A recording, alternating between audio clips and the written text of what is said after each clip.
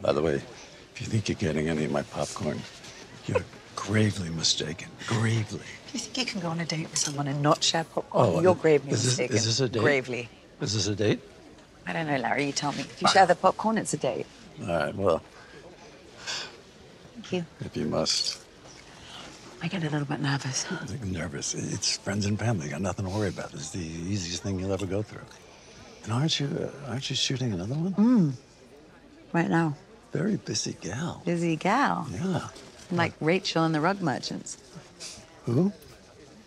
Rachel and the Rug Merchants. What's that? It's like it's a famous Old Testament Jewish parable. Rachel and the Rug Merchants? Have you never heard of it? Never heard of it. Call yourself a Jew? What's it about? It's about Rachel and rug merchants. What, what happened? Did she get cheated on a rug? Did she have to return the rug? Did they give her the wrong rug? Was there a stain on it? I mean, there's a many possibilities No, for what no this stain story on the rug. Uh-uh. Was the rug too big for her tent and she got the dimensions wrong? Was it about her relationship with the rug merchant? Did she have an affair with the rug merchant? What happened with her and the rug merchant?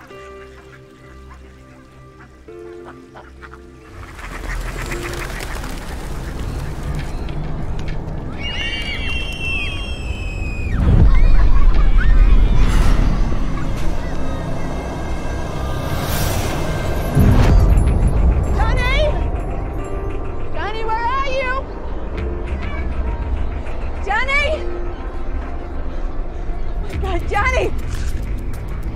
Johnny, come on!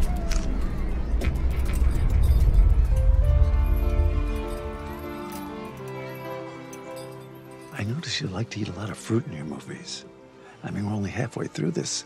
You've already eaten a cantaloupe, a nectarine, and some mulberries. In fact, now that I think about it, didn't you eat a lot of fruit in Anatomy of a Scandal?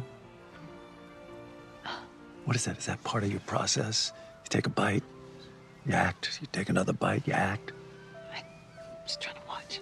Excuse me? Oh, sorry. Excuse me, have you seen an 11 year old boy Oh, look, yeah, you're doing it again. like a, a black and green checkered shirt?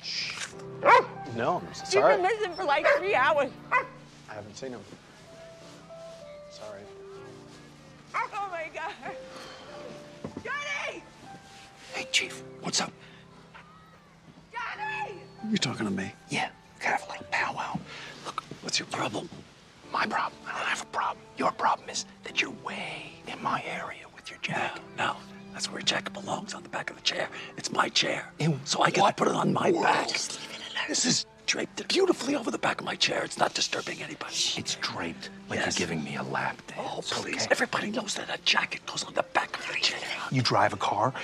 You could drive into every lane on the parkway. No, huh? no. I'm married. I can't just go to the mall and fuck any woman I want. Both of you.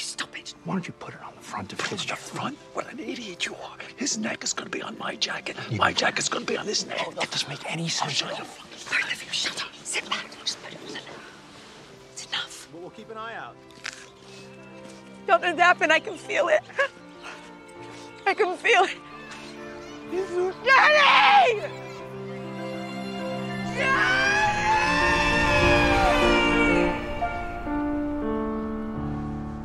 You're very good at this. It is for us, rather, to be dedicated here to the great task remaining before us. That from these honored dead we take increased devotion to that cause for which they gave their last full measure of devotion. For which they gave their last full measure of devotion.